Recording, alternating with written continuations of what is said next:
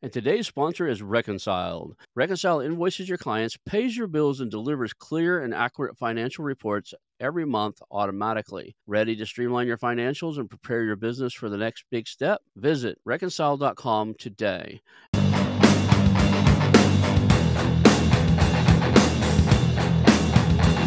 Hello, and welcome to the How2Exit podcast, where we introduce you to a world of small to medium business acquisitions and mergers. We interview business owners, industry leaders, authors, mentors, and other influencers with the sole intent to share with you what it looks like to buy or sell a business. Let's get rolling.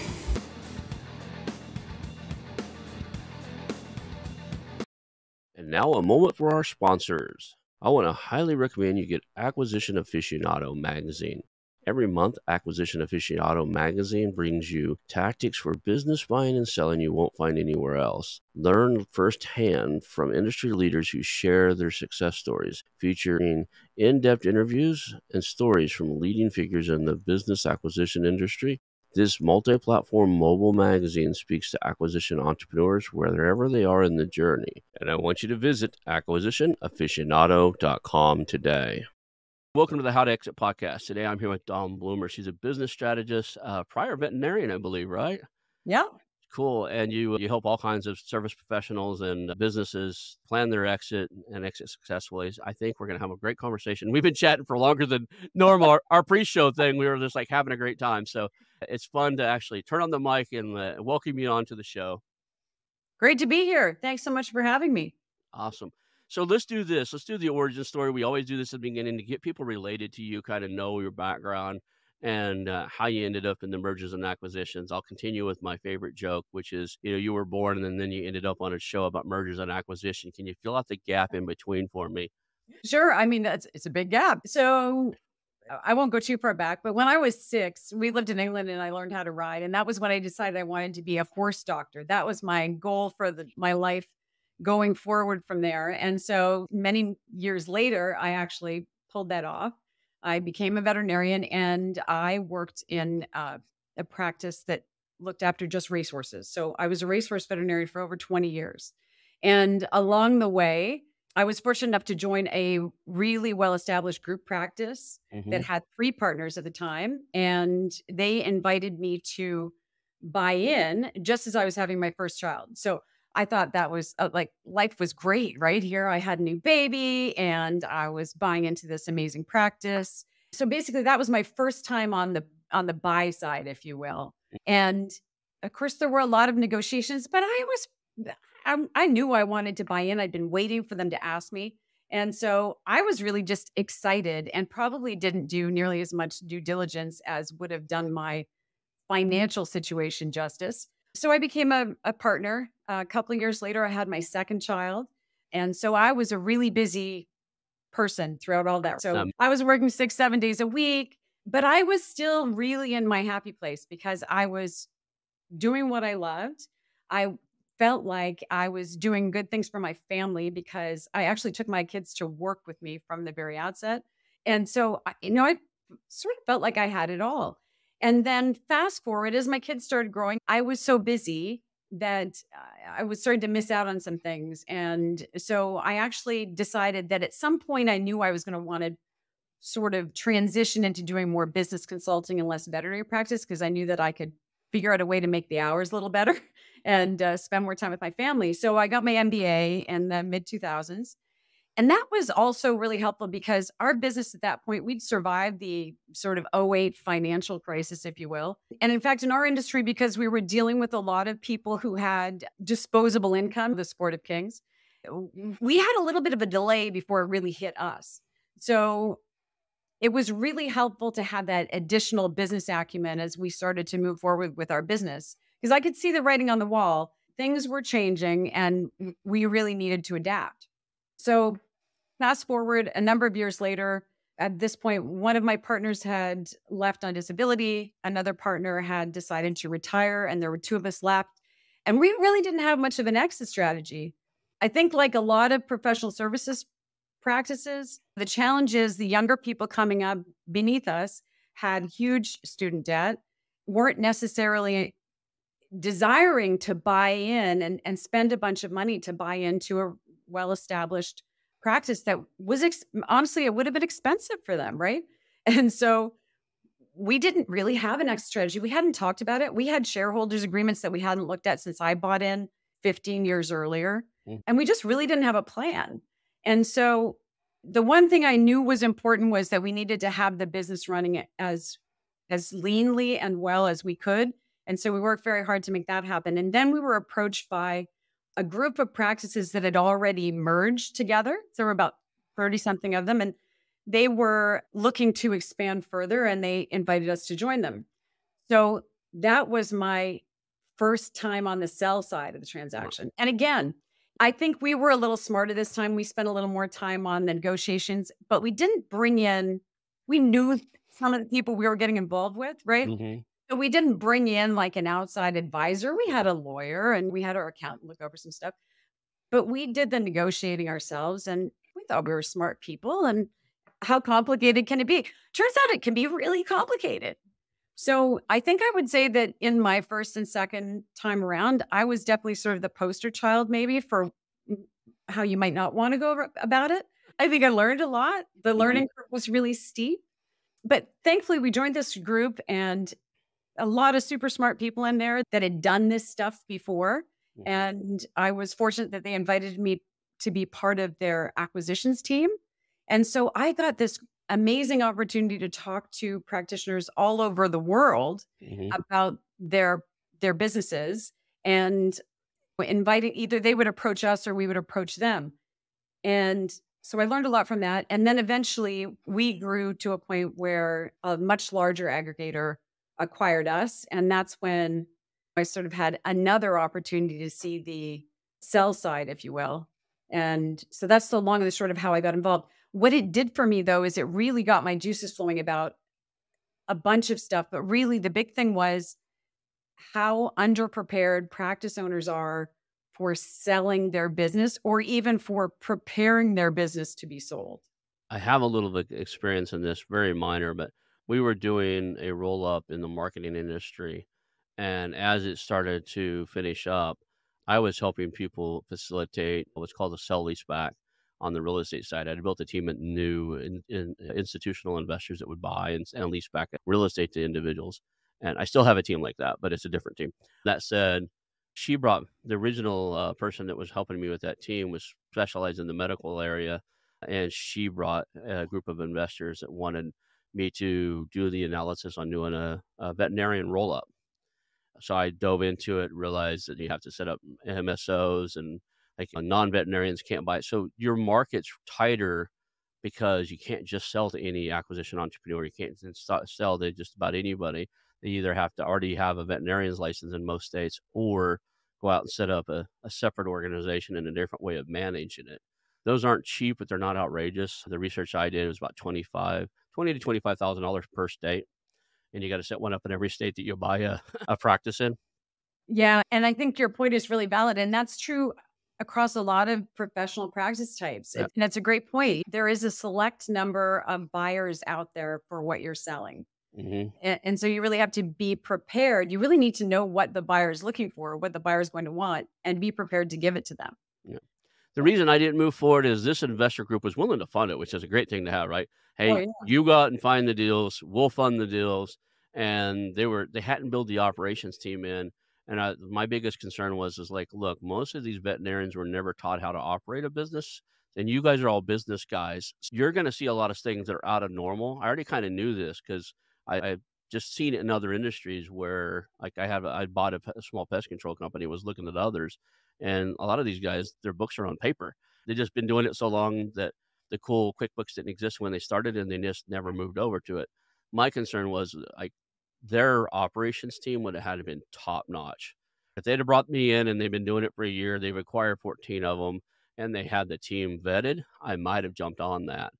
Yeah. smart because he, because you nailed it. The challenge for professionals in general mm-hmm. is that we are so highly trained in our profession. And I think it may be starting to shift a little bit, but most professional service most professional schools do not teach you how to be a business owner. They don't teach you anything about running a business. So you basically become an entrepreneur by accident. Like, frankly, I don't even think I realized it was an entrepreneur until much later in the game. Yeah. I'd never really thought about what it meant. Mhm. And so the problem is the solutions we come up with for making our business better and stronger usually involve us just putting our head down and working more and increasing the top line. Right. That we're oblivious, but honestly, we get so caught up in that. Everybody talks about the hamster wheel, and it really is like that hamster wheel of doing more stuff to make more money. And yet, at the end of the day, what you have is not necessarily that much greater because it's not been done in a way that's really deliberate. The funny thing was, is I had a had a vested interest in internally that I love animals uh, to start with, but my daughter's adopted that. I almost call it a weird thing with animals and, and small children. I just they collect with me. I mean, there's a deer that comes by here and I feed it by hand, and everybody thinks it's freaky. I feed the ravens and they follow me around in town and like will see me in town. Like I was in town, I was getting something notarized, and a raven flew over and dropped a walnut right at my feet, and I was like, "Oh, hey, buddy!" And I walked over, cracked it for him, and I walked away. And the guy that was notarizing things was like, "Did that bird just really drop a walnut on the ground for you?" And I was like, "Yeah, it's probably having a hard time cracking it. It's probably one of the ones I feed at the house." He posted about it in, in one of the local blogs here. Like, there's a guy here that like the ravens in town know him, you know. And that is that is the flip side. What's interesting about veterinary uh, on a tangent here? What's interesting about becoming a veterinarian is I think a lot of us get into it because we love animals and we don't realize how much of it is really a people business. In addition to the watching the the struggle with the animals suffering and sometimes no matter how hard you work you can't fix them. Yeah. That's actually why I felt I couldn't be a doctor for the same reason. I was like, "Oh god, I mean, how would you deal with not being able to fix people?" But it was it's almost worse with animals because they're help it feels like they're helpless. But it's it's interesting. It is so much a people business. It is. You take care of the animal. You're the animal's doctor and the person's therapist. And that's what I told her. I said, you know what? I don't like people that much. There's like I like my I like my people, at least smart entrepreneurs and stuff like that. But uh, your average person, I could do without. I'm a little bit of. I'll tell you what, it's a really being a veterinarian is a really I really admire the people who, especially now that I'm not doing it, I can say this, but it's a really hard job. I admire people who have the ability to do it without being consumed by it because it's it's hard not to be consumed by it on all levels. the other thing I noticed, and one of the reasons I didn't jump into it was is because, and it may have changed. This is two years ago now. So the reason you get into roll-ups is there's usually a, a multiple gap. You can play multiple arbitrage. You can buy things at 2, 3x and sell them at 10, 15, 20x if you get the right strategic buyer. There's always that. That's your home run lottery ticket, but you can sell it for, you can buy it at eh, 2 to 3x and sell it for 6 or 7 guaranteed. And then every once in a while, if you can line up with the right strategic buyer, you could just hit a freaking home run. I didn't see that inside of the veterinarian because there just wasn't. Now there is. There's a couple good big size companies doing veterinarian roll ups, but Yes. I couldn't find them at the time. Like, okay, where's my where's the home run? Right? And it's you're right. And it became kind of a crazy market for a little while there, especially during COVID, mm-hmm. ironically, because I think there was such a run on pets. hmm Well, a lot of people were adopting or getting a pet during COVID because they wanted the companionship, all the things. And also, I think there are not a lot of places where that type of like the thing about veterinary medicine is that it's pretty constant. People are going to get their pets taken care of, even in lieu of taking care of themselves often, which is sad but true. And the returns compared to a lot of things you can invest in are pretty safe and mm-hmm. and pretty consistent. So I think that's why a lot of the PE groups like to get involved. They're starting to now a lot in the last Yeah. couple of years, especially. They started just to open their eyes to it. That and it's less like in the medical profession, you're always dealing with insurance companies which are always trying to nickel and dime you and not pay you as a professional, right? Yes. Well, you, you did this procedure, it wasn't qualified. In the veterinarian service, pretty much you're paid up front, or if you're a little soft, you take payments over time on things. But because Yeah. there's not that insurance thing there, you're not having to chase some big bully down all the time and try to get your money out of them. That's right. And that is a, a big concern. Some of the practice types are different. That's why most of the aggregation, most of the roll-ups have focused on small animal practices, mm-hmm. because to your point, in small animal practices, as opposed to what we would call mixed or large animal practices or equine practices. So mixed and large animal would be sort of your traditional rural practice where they Mm. do all kinds of animals. In those instances, often things are done on account. And so you have an accounts receivable issue to contend with often. Mhm. But small animal practices, they don't do that generally, to your point. Right.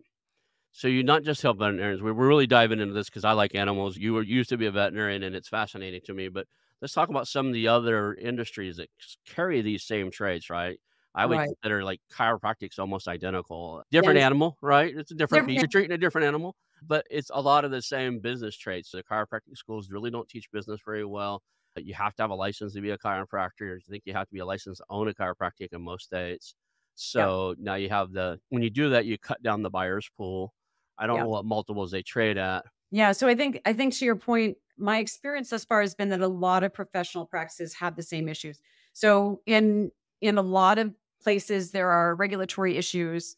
Certainly, uh, I think some of the biggest issues are around the fact that we don't have formal business training.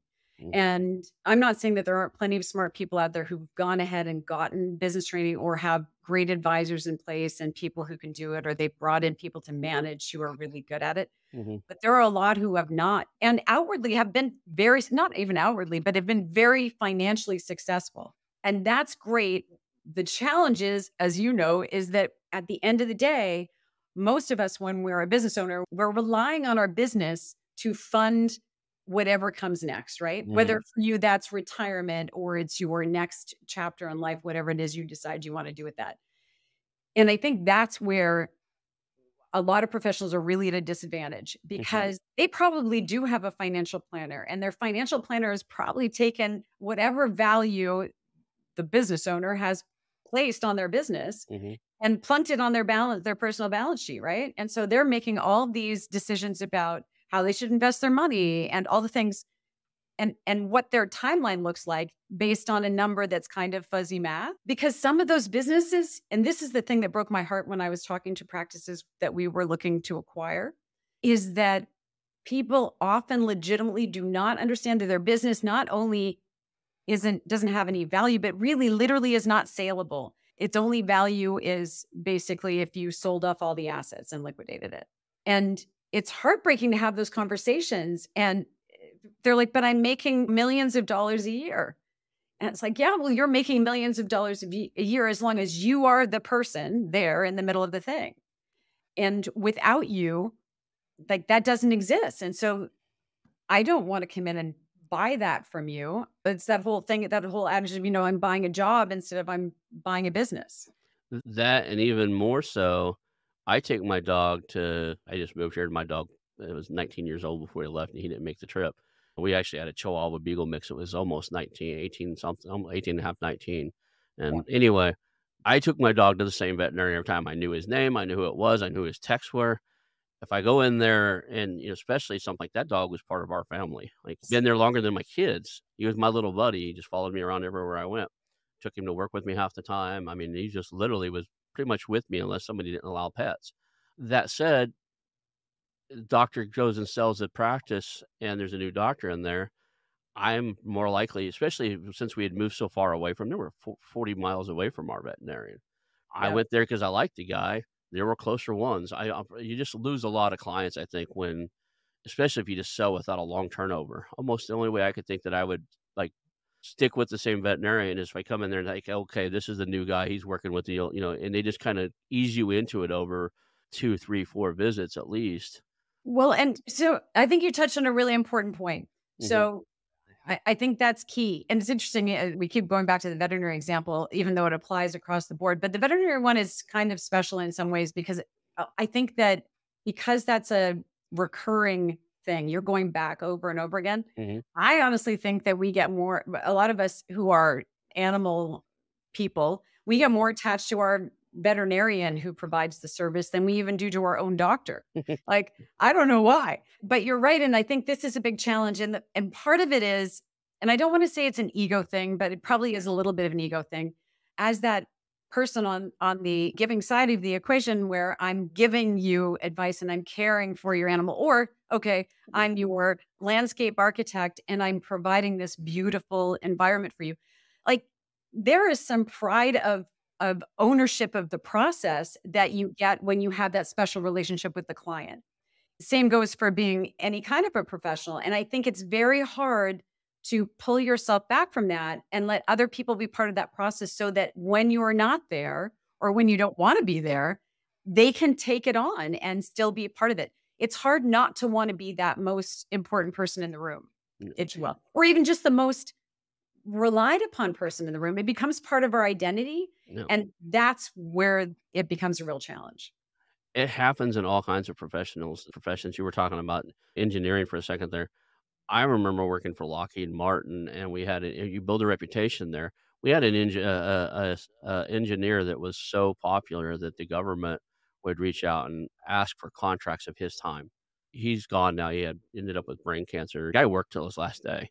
He just loved doing what he was doing, computer security type of stuff. And I can't say who he was because he was in and out of dark, really high classified projects. But Yeah. uh, they would reach out and say, "We want to contract 15 hours uh, a month of his time to to work on this other project." Wouldn't even tell Lockheed what it was, but they would give Lockheed a big contract, and he would disappear and work for them and stuff.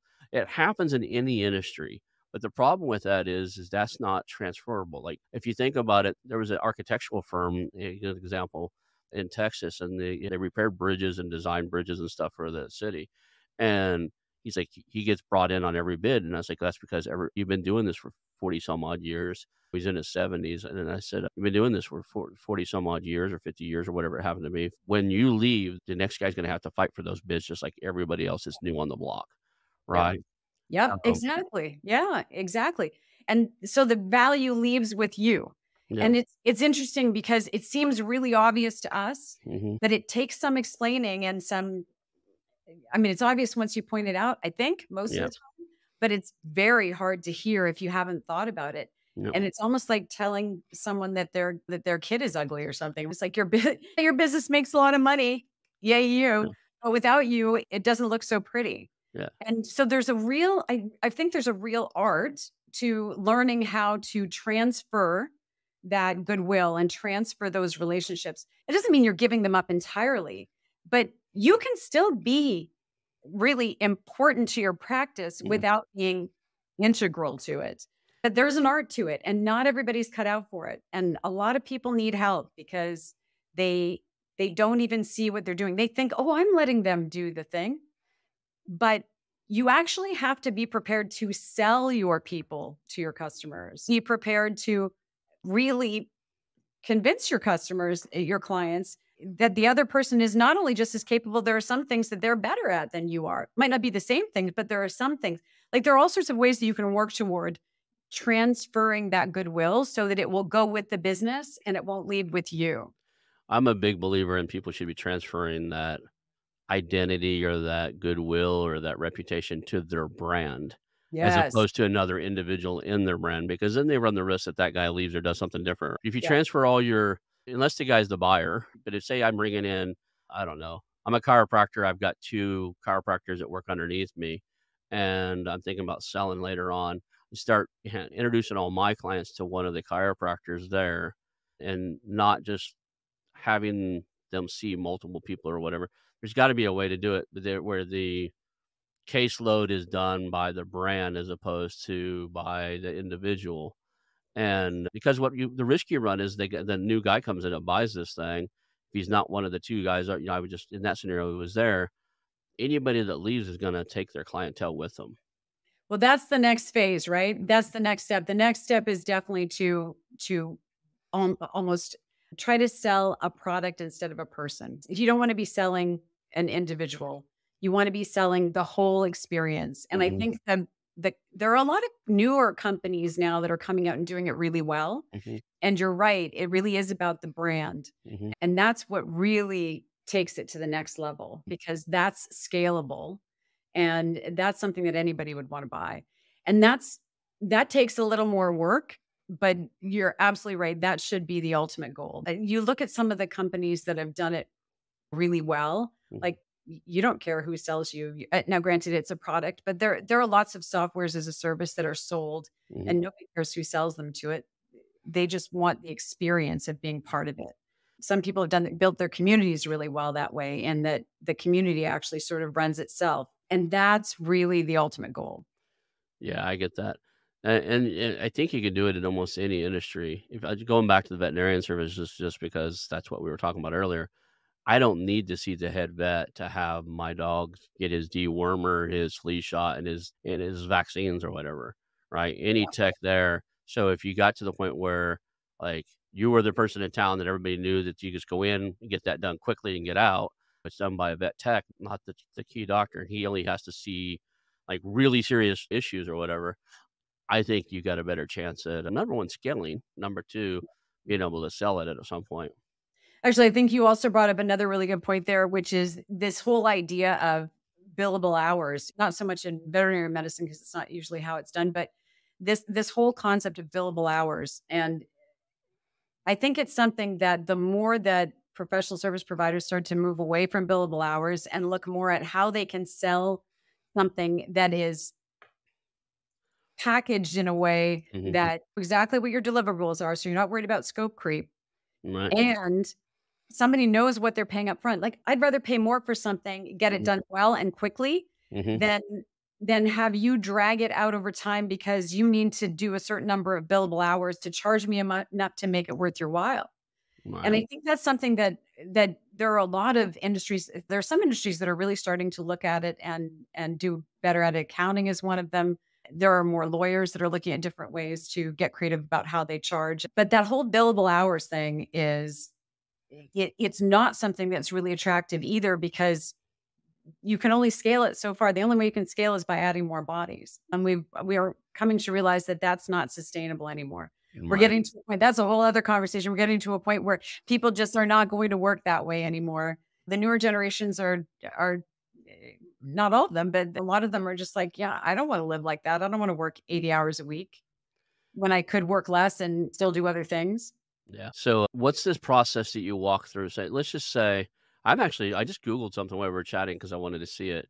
I, I, I was curious what the current EBITDA multiple is for veterinarian practices from your experience. And I just use veterinarian practices, but I, we could probably swap that out for a few others too to see the difference. But uh, I'm wondering what the scale is for that because that looks really high. What do you think the for what a did, you, what did you see on Google? On Google, it's like the people also ask little section where it's easy to find stuff. They say 10 to 18x. And I'm thinking that's probably a veterinarian service that's doing more than 2 million a year. And today's sponsor is Reconciled. Are you an entrepreneur or business owner thinking about your exit strategy? Or maybe you've just landed a business through acquisition and the books just aren't the way you need them to be. Let me tell you about Reconciled, your dedicated partner for industry leading virtual bookkeeping and accounting services. Reconciled pairs you with skilled professionals who empower you to grow your business and prepare for success, whether that's your exit or taking that new acquisition to top performance. Imagine having high level financial management without expanding your team. From bookkeeping to CFO services, tax advisory, and even fully outsourced accounting, Reconciled has got you covered. They help you make the best business decisions, keeping your end goal in mind. And the best part? Reconciled understands acquisitions, as they have acquired three accounting firms in the past three years, and their founder, Michael Lee, mentors others in searching for acquisition, raising capital, or trying to aggressively scale. Reconcile invoices your clients, pays your bills, and delivers clear and accurate financial reports every month automatically. Ready to streamline your financials and prepare your business for the next big step? Visit reconciled.com today and let them get your books in order. Reconciled, making bookkeeping a breeze. That's reconciled.com. Yeah, even in the heat of things, multiples that we were hearing about were like crazy.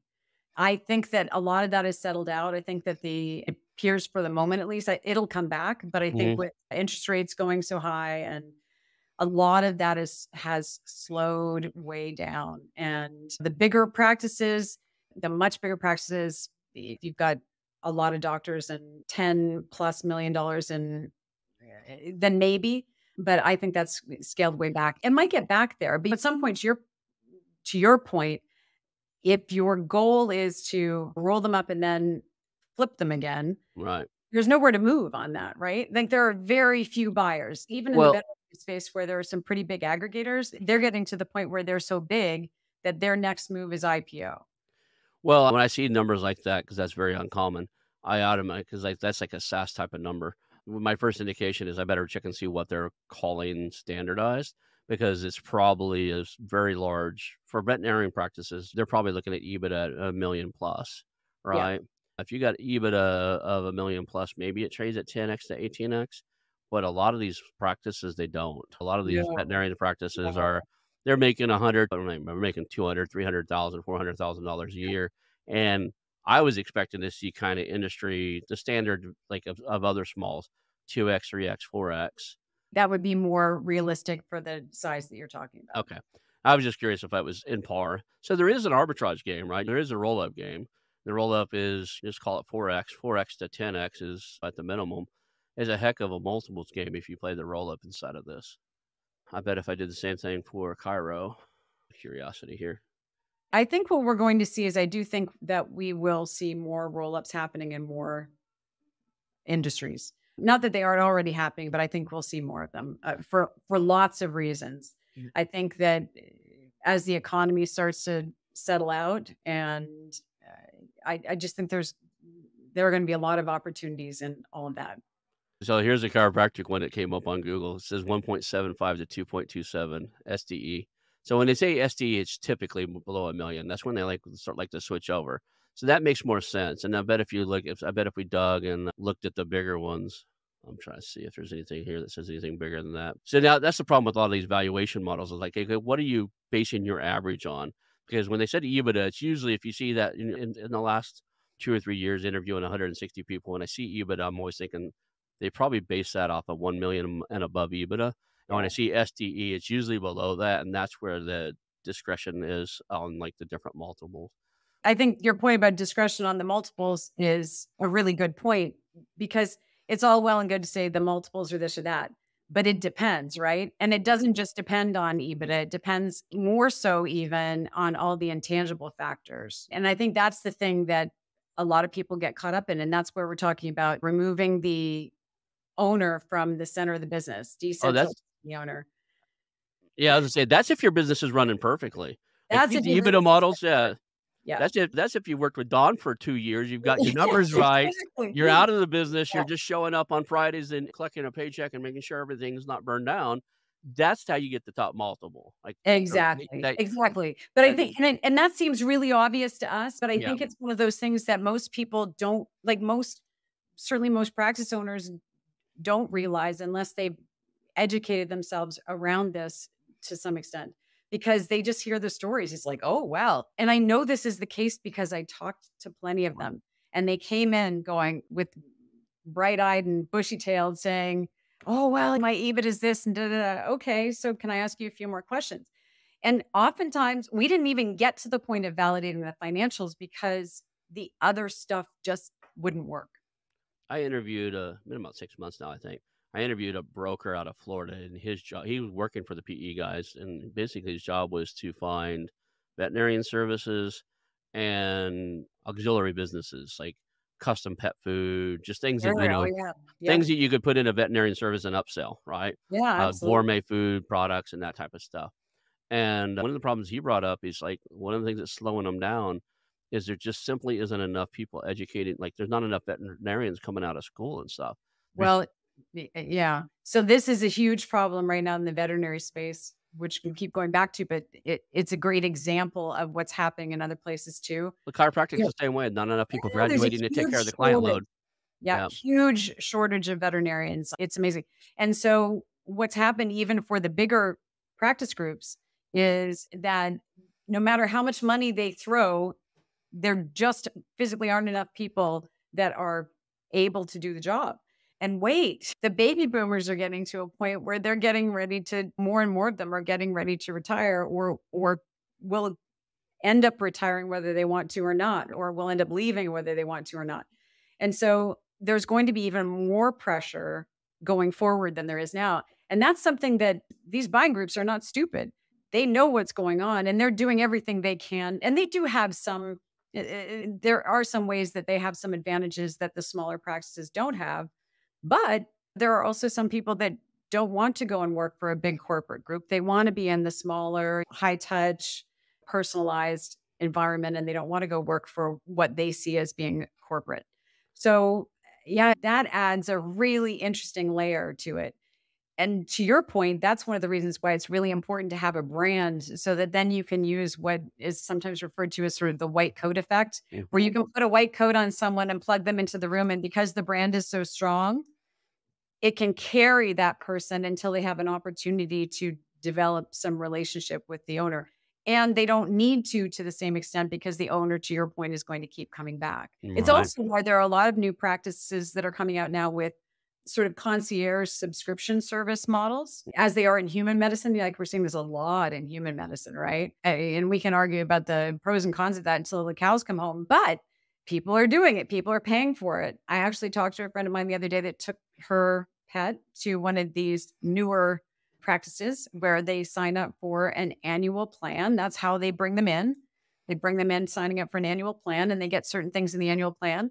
And she loved it. She said, Oh, the office was beautiful and it's really modern and they have all the bells and whistles and uh, the people were really nice and da da da.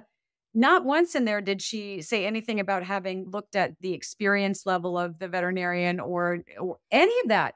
So, uh, not to belittle the importance of those relationships, Mhm. but there is a different, there are some different types of buyers out there now, too, that are not always looking for the same things that we've traditionally thought they were. Yeah, each one of the big. You're in you're in California. You have Kaiser down there. Yeah. Oh, yeah. Remember, that's it's almost boutique. You go to them for everything, Yeah. and uh, it's very you're joking. Some people don't like to hear a doctor. I'm firing mine. I've been I've seen him one time, and I never want to see him again. He's a marathon runner, bodybuilder, veins popping out of his neck, and within five minutes, he was fat shaming me and and just tearing into me and talked down to me. Didn't listen to a word I said. Talked down to me the whole time I was there. I was so fuming mad. I was about to throw something at him. My wife actually said, "Oh, we need to go. We're done here, right?" And she could see how mad I was getting in the room. And it was everything I could do not to tell the man off. I was trying to be respectful. That's interesting, though, because that actually brings up a really important point about culture. And this ties into brand. Mhm. And so uh, I, I think that if eh, obviously Kaiser's such a big system, I don't know what their checks and balances are in place for how they manage their. They won't blink an eye when I switch doctors. No, they won't. They won't care. They Yeah. don't care because you're you're locked into their system anyway. It's not going to change their bottom line, and that guy will be for somebody. You might not have been for you, but if you're not Kaiser, if you're not Kaiser, and you want to create a brand that is attractive to Mhm. your clientele, I think it's really important that you have all of that stuff kind of laid out. Like, who are you wanting to serve? Like, who are your people? And because you're not going to be for everybody, to your point, like that guy's great probably for some bodybuilder dude who wants to. But so when you are looking at your business, who are your clientele? Who do you really want them to be? So, what is your mission? What's your vision for the future, not just of your business, but for your brand? What experience you provide? I still think right now, especially after COVID, I feel like customer service has gone by the wayside. Like we are so desperate to get out and do stuff. We don't care if we get crappy service. We're just like, I don't care. Yeah, I'll pay the extra tip. Throw the tip in there. We tip it for everything now. Like it's crazy. And we get terrible service because we feel bad because we know they're understaffed and they have little signs up saying we're understaffed. I think that there is so much opportunity in there for service providers to just go back to giving great service. I think you can charge more for it. People will pay for it. I think there's so much opportunity there because I think people are starved for just good old service. Like, I laugh because well after COVID was over, like towards the end, they're still making you wear masks inside of the uh, doctor's office. I was in Oklahoma and I have the VA, I have other medical insurance, but I went to a particular doctor because he was recommended to me. They didn't tell me how he practiced, but uh, I went to them for a particular pain management because I was getting off of pain medicine from a car wreck. Mm. And I go in there, I do all the, the nurse checks me out and does my thing. And when it's time to see the doctor, they wheel in this laptop on a cart and lift up the laptop lid. And here he is on the screen. And he did the whole thing on the screen. And I, I figured out he hadn't been to the office since COVID. He, he figured out he liked working from his kitchen table. yeah, And all he's doing, like anything he needed to physically touch somebody, he had a nurse do. And Yeah. he just he would get on there and ask you some questions and like, okay, I'll send the prescription over to the pharmacy. He would do it from his house. They don't hand you a prescription; they just send it yeah, over the computer. just- yeah. Right? He just didn't. And I kind of first was like, wait a second, and then I was like, but I get it. I didn't need to physically see the guy. And I think that's another thing that's really interesting because I think that that's another, I mean, brilliant, right? Like, talk about arbitrage. I- think there's going to be so much opportunity in leveraging technology for these Mhm. things because the reality is, as time goes forward, things are just going to change exponentially in that realm. there are going to be so many more things within the Internet of Things where wearables and all these things can monitor stuff constantly. Yeah. And you can hop on a like a telemedicine visit from your phone. And and it doesn't mean you're not getting great care. It just means you didn't have to get in a car and go do the thing and they didn't have to leave. They're happier. Like I want a doctor who is not burned out.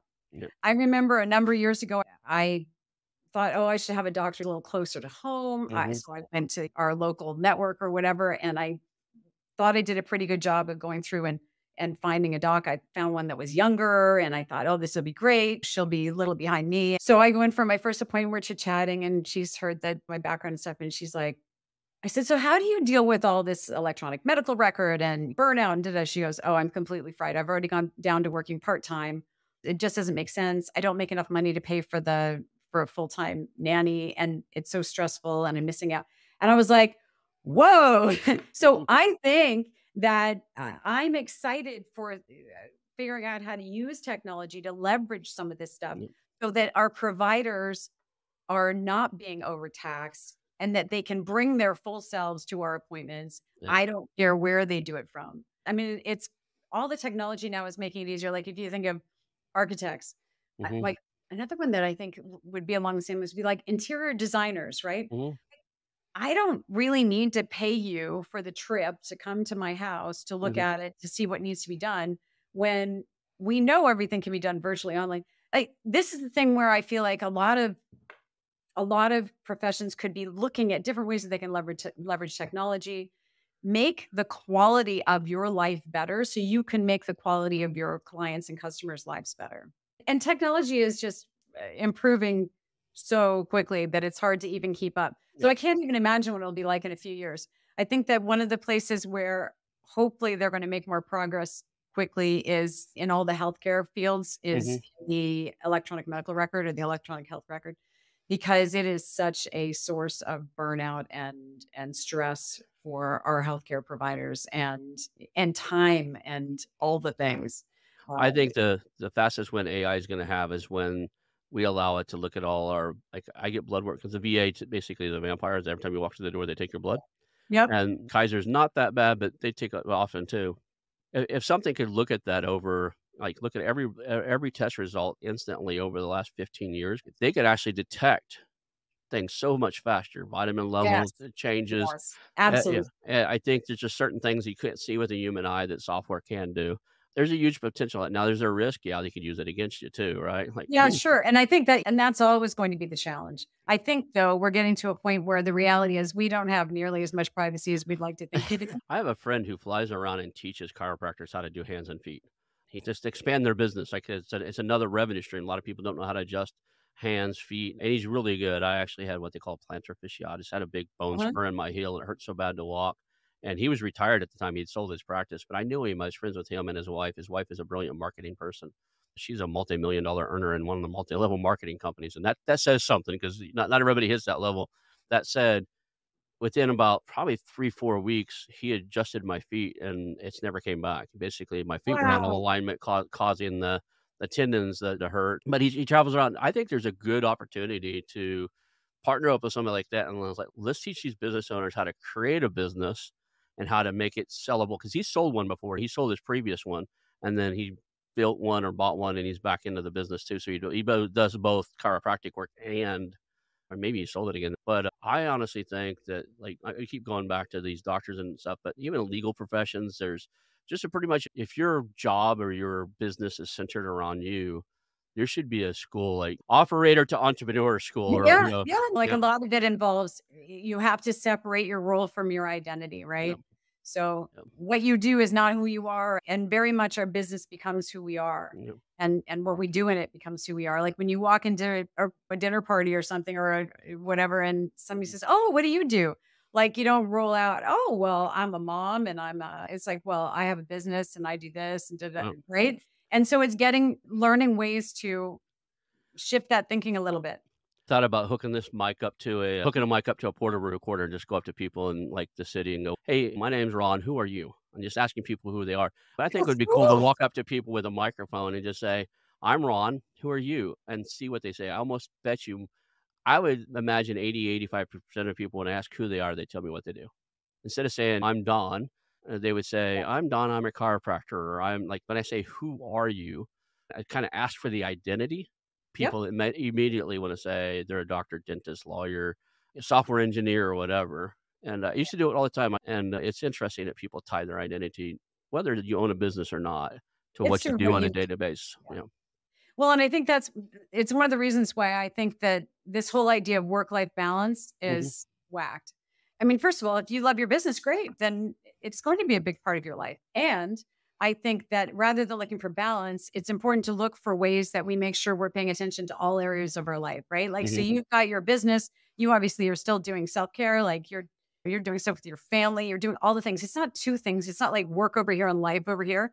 Like it all inter it, it all has an interplay. And I think that it takes some of the pressure off this idea that you should be able to just have all these these these things where you turn it on, you turn it off. Yep. I, I don't think it's realistic. And I think when you're chasing unrealistic goals, it's just an exercise in frustration. So I talk a lot about integrating your work with the rest of your life very important that you pay attention to those things. And one of those is making sure that your identity isn't too tied up in your business because I think it's another reason why people delay planning their exit is because they're like, well, I don't know what I would do if I wasn't doing this. I think it's one of the reasons people struggle in traditional mm-hmm. retirement. And so many people are going back to doing something else because they're like, I don't know how to be me. Like, who who am I? Who's my mother? You know, it's like that book when you were a kid. So I think there's there's a lot tied up in that, and that's what makes some of those changes difficult for people. Is that it feels very personal to be saying that eh, what would I do next, and it's really important to know like what's really important to you, what are your values, what matters to you, because that helps you figure out what your business should be doing for you instead of just what you're doing for your business. One of the things I want to cover before we go is what is the timelines? If I'm a dentist lawyer, I'm trying to avoid veterinarian because we talked about it a lot, but I'm a dentist lawyer. I own an engineering firm that's centered around me. What are some of the other ones? Chiropractic, just any of the things out there where you're the soul of the business, including veterinarian. What does the timeline look like? When should they start contacting you? I understand in, in most brick and mortars, it's a two or three year process. But even sometimes the brick and mortar is a little more lean towards they've got some of this stuff right already. They already like new standard operating procedures yeah. and some other stuff to where I see, at least in my experience, I think a lot of these others, they just don't have any of it. They don't have any standard operating procedures. They don't have systems processes. They don't even have formalized accounting the way they should, right? They don't. They don't. They, a lot of them do not. And I think it's a great question. And it's one of the reasons why I try not to over focus on exit planning when mm. I when I market because frankly, I'm afraid I'll scare people off because mm-hmm. they're like, oh, I'm not thinking of leaving for years. Great. Then let's start now. Mm-hmm. Because really, uh, Chris Snider from the Exit Planning Institute, what he says is he says exit planning is just good business strategy. Because yeah. really, that that whole concept of beginning with the end of the in mind, like I can give you all the all the sayings, right? Mm-hmm. They're true. It's like as you get older, you realize all those things your mom told you back in the day. Mm-hmm. They're true because you can't start too soon. Yep. Because first of all, I think it's hard to time your business exit. You want to have a business that's ready to be sold when the time when the thing happens, right? If mm-hmm. somebody comes to you, you want it to be ready. Mm-hmm. Uh, and so, long and the short of it is, like years to preferably five or ten years would be great because the longer the runway you have, the mm-hmm. more options you have. The right. shorter your runway, the fewer options you have as to the type of buyer you can look for and to what your business will be worth when you exit it. I got it. I got it. I think there's a play here, like we were talking about earlier about roll ups and that you have to have a manage, management service organization or a medical service organization, dental ser- service organization, those type of things. I think there's a play to almost have something similar to an MSO for your day to day operators where, like, look, you do the doctor stuff and we'll do your marketing, we'll do your accounting, we'll do your book, to your appointment setting, and eventually, when you're ready to sell, it'll all be well run, and when you're ready to retire, everything will be in order. Does that exist already? Or are there companies out there that do? So I, I do know of a few companies that do that on a small scale for mm-hmm. various types of groups, like within an industry. Mm-hmm. And I think that for certain people that works really well. Mm-hmm. I still think the challenge in it generally is that what they're not working on is the mindset and the and the bigger picture, the bigger yeah. picture. And so yes, they're taking care of some of the mechanics, which is great, But at the end of the day, if you don't have that bigger picture in mind, Mhm. it's really you've just bolted on another piece that you also have to manage and all of the things. Right. And I think it's also hard for most owners to give up that kind of control, if you will, if they haven't already made that sort of mindset shift. I have some really good friends that are the doctors and stuff, and I've been asked to come in and coach them for marketing and stuff. Mhm. And the problem I have with coaching PhDs in marketing is if you don't have a PhD above theirs, they automatically assume they're smarter and won't listen as thoroughly as they possibly could. They don't realize that there's specialized knowledge in certain areas and just have a problem with that. So I didn't. Well, and I think that's one of the reasons why I think my background hopefully helps me understand where people are coming from a little bit It does. because I've been in their shoes. I get it. No judgment. Mhm. No judgment. Uh, like I've I've done it all wrong. I've done all the things backwards. And and Right. what I want to do is use my experience to help other people figure it out faster than I did Mhm. so that they don't have to struggle for as long. Okay. And and to your point, it's true because what you don't want is you don't want someone coming in, even if they are do have a degree above you or whatever, you don't want them coming in and telling you how you're doing everything wrong. You want them to help you understand how you can do things better. Mm. I try not to come from a place of judgment because I can tell you whatever story you have, I can tell you one where I did it worse. So how do people reach out to you? If somebody has a, a practice or or something that fits, let's start with there. What is your target demographic? Who do you want reaching out to you? And then we'll tell people how to get to, how to get to you. Sure. So I I'm excited to work with I, I work with other types of businesses, but Mhm. what I'm really excited about working with and passionate about working with are are practice owners who have a really a certain certain level of of success already. Solopreneurs are tough for me. I can help people who are in already in a well-established business. You've Mhm. got several principals involved and and really what you want to do is you're already successful but perhaps you're at the point where you're overwhelmed by everything that's going on and you do better so pretty much any professional service practice or firm in that in that realm most of them are they're micro to small businesses hmm but they already have a pretty substantial footprint and they want to invest in doing things better Okay. And then how do people reach out to you? What's the uh, best way? So my website is productivepressure.com and on LinkedIn. And that's an easy way to get me too. Okay. But if you go to my website, you can find pretty much everything about me there, productivepressure.com. And otherwise, please connect with me on LinkedIn. And you're Dawn Bloomer on LinkedIn. I can see that. Cool. I am. So, uh, and I'll put those links in the show notes. If you're driving, uh, you can get back when you get back somewhere safe. You'll be able to find them in the show notes. I want to thank you. We had a fun time today. I I learned a lot from you, and we'll call that a show. I want to announce our new channel partners, the ITX Marketplace. Since 1998, ITX has created 5 billion in value by selling more than 225 IT businesses in 20 countries. ITX works exclusively with IT-enabled businesses generating between 5 million and 30 million who are ready to be sold and M&A decision makers who are ready to buy. For over 25 years, ITX has developed industry knowledge that helps determine whether a seller is a good fit for their buyers before making the match. ITX Mergers and Acquisition Marketplace we have partnered with has a proprietary database of 50,000 plus global buyers seeking IT service firms, managed service providers, Microsoft service providers, software as a service platforms, and channel partners with Microsoft, Oracle, ServiceNow, and, self, and, and the Salesforce space. If you have an IT enabled business you're ready to sell, I want you to visit the itexchangenet.com slash marketplace. How to exit. That link will be in the show notes. Visit them now.